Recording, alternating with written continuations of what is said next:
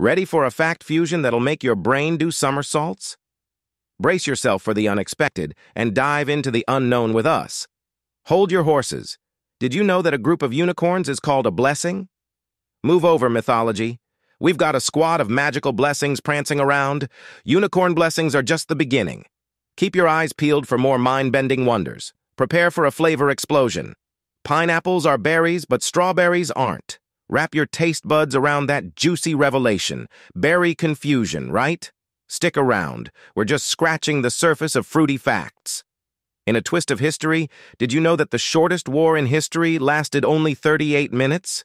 Two African kingdoms went head to head, and it was over before you could finish a TV episode. Warriors on fast forward. But wait, there's more historical head spinners ahead. Buckle up. The Eiffel Tower can be 15 centimeter taller during the summer. It's like the world's most iconic stretch routine. Tag a friend who needs a summer growth spurt.